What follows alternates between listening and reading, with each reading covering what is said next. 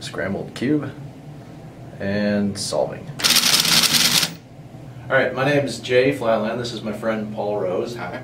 Um, we've built an extremely fast Rubik's Cube solving robot, and we're in the process right now of applying for an official world record. 1.196. Alright, we've, uh, we're turning the cube with stepper motors. Um, they are resting in a 3D printed frame. Um, the stepper motors have little 3D printed feet on the ends of them that fit into carefully drilled holes uh, in each side of the Rubik's Cube. Rubik's Cube can pop out. See, it's a regular Rubik's Cube aside from the holes.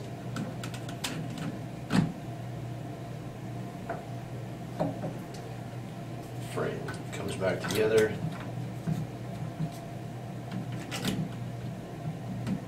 Okay. And we use uh, four USB webcams um, to determine the state of the cube uh, very rapidly. Uh, that camera information is fed into a PC application running on Linux. Uh, that application uh, determines the cube state, feeds the cube state into an implementation of the uh, Rubik's Cube solving algorithm, which uh, determines a set of moves to solve the cube very rapidly.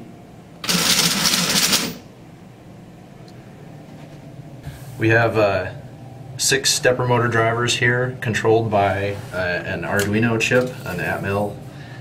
Um, the Arduino is responsible for controlling uh, highly tuned acceleration deceleration curves to drive the stepper motors.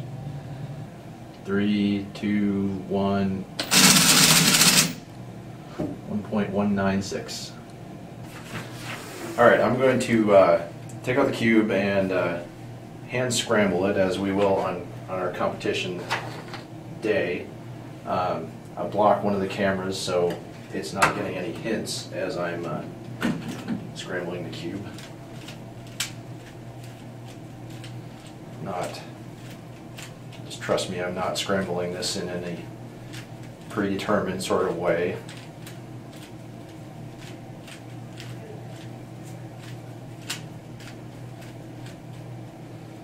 Okay, load cube back in.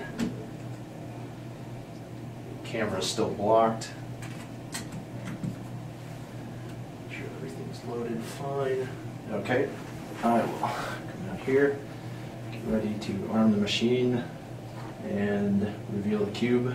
Ready, three, two, one, go. 1.047 seconds. Ready? Three, two, one,